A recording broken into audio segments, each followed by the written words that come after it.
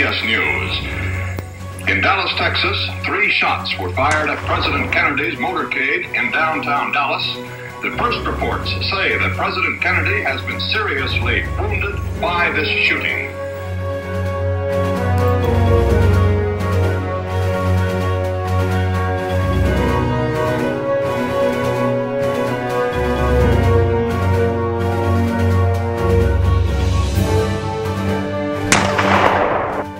Dallas, Texas, the flash, apparently official, President Kennedy died at 1 p.m. Central Standard Time, 2 o'clock Eastern Standard Time, some 38 minutes ago. One.